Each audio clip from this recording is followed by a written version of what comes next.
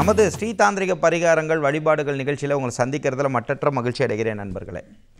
இன்றைக்கி நம்ம பார்க்க போகிற தலைப்பு இது வந்து இப்போ நான் சொல்லித்தர சீரீஸ்லாம் அதை கொஞ்சம் சின்சியராக நீங்கள் பண்ணுங்கள் ஏன்னா இதில் இதெல்லாம் வெளியே யாரும் சொல்லி கொடுக்கறது அது எப்பேற்பட்ட ஜோதிடராக இருந்தாலும் நீங்கள் பார்க்குறவங்களா இருந்தால் நான் சொல்கிறது உண்மையாக என்னன்னு உங்களுக்கு தெரியும். கற்றவர்களுக்கு நான் பேசுகிறது புரியும். இதெல்லாம் யாரும் தைரியமாக வெளியே சொல்லி கொடுக்க மாட்டாங்க. ஆனால் சுய பிரயோகத்துக்கு அவங்க பயன்படுத்தி எவ்வளோ பெரிய கோடீஸ்வரர்கள் முன்னேறிட்டு இருக்காங்கன்றது அவங்க அவங்களுக்கு புரியும். சரிங்களா?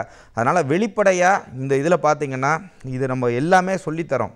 சொல்லித்தரும் பொழுது இதில் நெருக்கி ஒரு இரநூறு எபிசோடுக்கு மேலே வந்து பார்த்தீங்கன்னா நம்ம புதுயுகம் சேனலுக்கு இதுக்கு நன்றி சொல்லணும். ஏன்னா தைரியமாக நீங்கள் பண்ணுங்கள் நம்ம பார்த்துக்கலாம் அப்படின்னு சொல்லிட்டு இதுக்காக நமக்கு ஒரு பிளேலிஸ்ட் கொடுத்து கொடுத்துருக்காங்க. அதை நீங்கள் ஸ்ரீதாந்திரிக் அஸ்ட்ராலஜி நீங்கள் போட்டிங்கனாலே இந்த லிஸ்ட் வரும். இதெல்லாம் நீங்கள் கற்று பயனடைங்க. கற்று பயனடைஞ்சு இதனால் பயனடைஞ்சவங்க எத்தனை பேர்னா கீழே வரக்கூடிய நபர்களே அது ஒரு உதாரணம். சரிங்களா? அதனால அந்த கமெண்ட் பாக்ஸில் வந்து பார்த்திங்கன்னா அவங்களாம் நம்மளால் பயனடைஞ்சவங்க. அந்த வழிபாடுகள்னால என்னால் இல்லை. நான் வெறும் சின்ன கருவி தான் ஆனால் அதெல்லாம் நீங்கள் பயன்பாட்டுக்கு கொண்டு வாங்க. பயன்பாட்டுக்கு கொண்டு வந்து வாழ்க்கையில் சுபிட்சமாக வாழ்கிறதுக்கான எல்லா விஷயங்களும் வெளிப்படையாக நம்ம சொல்லிக் கொடுக்குறோம். சரிங்களா? அதனால் நீங்கள் தொடர்ந்து ஆதரவு கொடுத்துட்டு வர்ற அத்துணை ஆன்மீக நெஞ்சங்களுக்கும் என் சிறந்த ஆழ்ந்த வணக்கத்தை ஒரு முறை சொல்லிக்கிறேன். இப்போது நம்ம பார்க்கக்கூடியது வந்து இது வந்து ஒரு உயரிய பிரயோகங்க இப்போ நான் சொல்லித் தர்றது. இது வந்து ஒரு எதிர் சக்திகள். அதே மாதிரி ஒரு எதிர் சக்திகள்னால் அது ஒரு நெகட்டிவ் எனர்ஜியாக இருக்கலாம். இல்லை அப்படின்னா ஒரு கண் திருஷ்டியாக இருக்கலாம். இல்லைன்னா ஒரு சில பேருக்கு அடுத்தவங்களோட வளர்ச்சி பிடிக்கவே பிடிக்காது. அவங்க பேச்சிலேயே பார்த்தீங்கன்னா ஒரு பொடி வச்சே பேசுவாங்க. அதாவது உங்கள்ட்ட சிரிப்பாங்க பேசுவாங்க எல்லாம் பண்ணுவாங்க. ஆனால் அவங்களுக்கு பிடிக்காது. உங்கள் வளர்ச்சி கண்டிப்பாக பிடிக்காது. அப்போ இந்த மாதிரி விஷயங்கள்லாம் இருக்கும்பொழுது ஒவ்வொருத்தர்கிட்டையாக நம்ம போய் சண்டை போட்டுட்டே உட்காண்டிருந்தோம்னா நமக்கு டைம் பத்தாது. இந்த டுவெண்ட்டி ஃபோர் ஹவர்ஸ் பத்தாது. அப்போ உங்களை நீங்கள் சக்தியாக்கிக்கணும். சரிங்களா? இந்த சாஸ்திரத்தில் என்ன சொல்லப்படுது? தாந்திரிக மந்திர சாஸ்திரமாக இருக்கட்டும். எந்திர சாஸ்திரமாக இருக்கட்டும் மூலிகை சாஸ்திரமாக இருக்கட்டும் நம்ம யாரையும் எந்த இதுவும் பண்ணக்கூடாது. பட் நம்மளை நம்ம ப்ரொடெக்ட் பண்ணிக்கலாம்ங்கிறதுக்கு எல்லா உரிமையும் தெய்வத்துக்கிட்ட போய் மன்றாடலாம்ங்கிற எல்லா உரிமையும் நமக்கு உண்டு.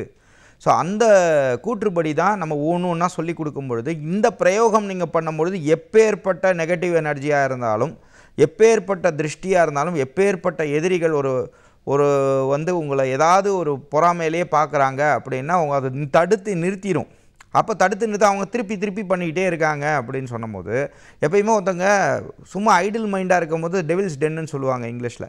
அப்போது இந்த மாதிரி விஷயங்கள் இருக்கும்போது அந்த மாதிரி ஒரு கெட்ட புத்தி வரும். அப்போ அவங்கள கடவுள் என்ன பண்ணுவார்? இப்போ ஒருத்தர் உங்கள்கிட்ட உங்களை ரொம்ப டார்ச்சர் பண்ணிகிட்டே இருக்காருன்னா அவருக்கு ஒரு சில கமிட்மெண்ட்டை கொடுத்துருவார். அப்போ அவர் அதை நோக்கி ஓட ஆரம்பிச்சிருவார். நான் சொல்கிறது புரியுதுங்களா? அதனால் நீங்கள் யாரையும் நீங்கள் நினச்சி இதை பண்ணணும்னு அவசியம் இல்லை. பட் ஜென்ரலாகவே இதை நீங்கள் பண்ணிகிட்டே வரும்பொழுது யாராலையும் உங்களை எதுவுமே செய்ய முடியாது. சரிங்களா?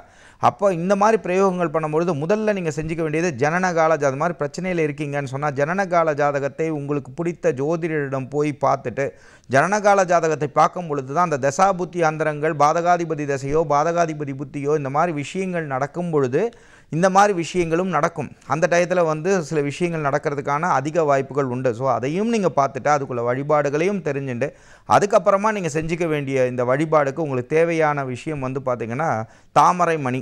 சரிங்களா? இது ஒரு நூற்றி எட்டு தாமரை மணியாக இருக்கலாம் ஐம்பத்தி நாலாக இருக்கலாம். அது ஏதோ ஒன்று இதை நீங்கள் வாங்கி வச்சுக்கலாம். ஸோ இதை வச்சுக்கலாம். அதோட சேர்த்து அஞ்சனம் மறைக்கிறத பற்றி நான் ஃபஸ்ட்டு அந்த சர்வ வசியங்கள் எப்படி பண்ணணும் அதாவது எப்படி பண்ணணும் அதே மாதிரி உங்களுக்கு எப்படி குடும்ப ஒற்றுமைக்காக என்ன பண்ணணுங்கிறத சொல்லி அந்த வீடியோ பார்த்துக்கனா பார்த்துக்கலாம். அப்படி இல்லை அப்படின்னு சொன்னாலும் இதில் நீங்கள் யதார்த்தமாக பார்க்கணுன்னா தர்பப்புல்லை எடுத்துக்கோங்க. அதை எரிங்க எரித்து முடிச்சுட்டு அதுக்கப்புறமா நீங்கள் எரித்து முடிக்கும் பொழுது ஓம் சிவ சிவ ஓம்னு பண்ணணும்.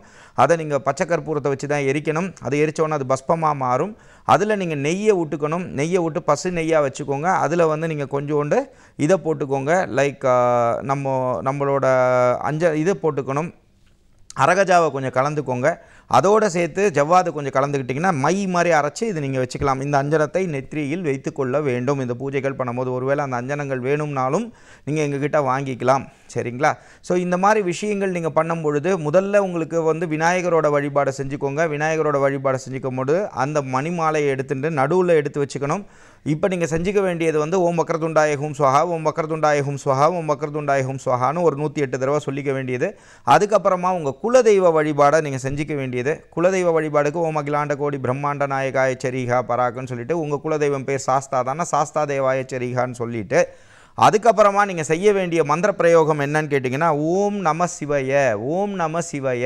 அப்படிங்கிற மந்திரத்தை விடாமல் செய்யணும். இப்போ இந்த ஓம் நம சிவைய ஓம் நம சிவையங்கிற மந்திரத்தை நீங்கள் தொடர்ந்து செய்யும் பொழுது அந்த சாஸ்திரப்படி நமக்கு என்ன எழுதப்பட்டிருக்கு அப்படின்னா லட்சத்தி எட்டு உரு செய்யணும்னு இருக்குது இப்போ இன்றைக்கி இருக்க காலகட்டங்களில் வந்து நம்ம அவ்வளோ நேரம் டைம் ஸ்பெண்ட் பண்ண முடியுமா? டைம் இருக்கிறவங்க வெல் அண்ட் குட் நீங்கள் டெய்லி லட்சத்தி எட்டு செஞ்சாலும் மிகப்பெரிய பலன் கிடைக்கும். சரிங்களா?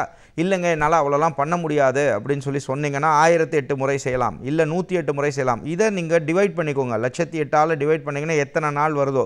இதை தான் அந்த சாஸ்திரத்தில் என்ன சொல்கிறவங்க சொல்கிறாங்கன்னா மினிமம் ஃபார்ட்டி எயிட் டேஸ் பண்ணணும் அப்படிங்கிறாங்க. பட் இதை நீங்கள் செய்யும் பொழுது நாற்பத்தெட்டு நாள் தொடர்ந்து at least minimum hundred and eight டைம்ஸாக செய்யுங்க அன்பர்களே. அப்போ நீங்கள் செய்யும் பொழுது இந்த நாற்பத்தெட்டு நாளில் லேடிஸாக நீங்கள் செய்கிறவங்களா இருந்தால் அந்த முப்பது நாளில் வரக்கூடியதில் அஞ்சு நாள் கழித்து இந்த இதை நீங்கள் செய்யுங்க. இதை நீங்கள் செய்யும் பொழுது மனசார ஃபஸ்ட்டு இதெல்லாம் செஞ்சு முடிச்சுட்டு இந்த மந்திரத்தை நினைக்கும் பொழுது ஆக்னியா சக்கரத்தில் கொண்டு வாங்க. ஆக்னியான்றது ஒன்றும் இல்லைங்க பயப்படாதீங்க. நெத்தி புருவத்துக்கு நடுவில் இருக்கக்கூடிய அதில் ஒரு பாயிண்ட் இருக்குது சக்கரங்கள் இருக்குது அதுக்குள்ளே மனசை நிறுத்தி நீங்கள் அப்போ என்ன பிரார்த்தனை பண்ணணும் அப்படின்னா இறைவா எனக்கு எதுவுமே தெரியாது. என்னை சுற்றி என்ன நடக்குதுன்னு எனக்கு தெரியாது. நீ தான் என்னை காப்பாற்றணும் நீ தான் ஜெயிக்க வைக்கணும்னு மனசார செய்யுங்க. அதனால் இறைவனுக்கு எல்லாம் தெரியும். உங்கள்கிட்ட இருக்கக்கூடிய நல்லவர்கள் யார்? உங்களுக்கு பின்னாடி யார் முதுகில் குத்துறாங்க? என்னென்ன பண்ணுறாங்க அதே மாதிரி என்னென்ன உங்களுக்கு ஜாதகப்படி இருந்த சில குறைகளாக இருக்கட்டும் சில தோஷங்களாக இருக்கட்டும் சில இது விஷயங்கள்லாம் தடுத்து நிறுத்தும். அதை இது வந்து வேகமாக போய் தடுக்கும். அதில் எந்த ஒரு மாறுபட்ட கருத்தும் இல்லை. இதை நீங்கள் செஞ்சுட்டு வந்ததுக்கு அப்புறமா தொடர்ந்து இந்த வழிபாடுகளை நீங்கள் செஞ்சுக்க செஞ்சுக்க அந்த தடைகள் வந்து தவிடுபடியாக ஆகுங்கிறதுல எல்லா எந்த ஒரு மாறுபட்ட கருத்துமே கிடையாது நண்பர்களே. ஒருவேளை உங்களுடைய ஜனனகால ஜாதகத்தை நீங்கள் எங்ககிட்ட நீங்கள் கணிச்சிக்கணும் அதே மாதிரி தாந்திரிக சாஸ்திரப்படியும் சில வழிபாடுகள் மூலமாகவும் தெரிஞ்சுக்கணும்னு நீங்கள் ஆசைப்பட்டீங்கனாலும் பின்னாடி உள்ள நம்பருக்கு நீங்கள் காண்டாக்ட் பண்ணலாம். நம்ம பெய்டு கன்சல்டேஷன்ஸ் மட்டும் தான் பண்ணுறோம் நண்பர்களே. நாளை மற்றும் ஒரு தாந்திரிக ரீதியான வழிபாடுகளுடன் உங்களை சந்திக்கும் வரை உங்களிடமிருந்து வணக்கம் கூறி விடைபெறுவது உங்கள் விஜய் சேது நாராயணன். நன்றி வணக்கம். ஓம் சுவாமியே சரணம் ஐயப்பா.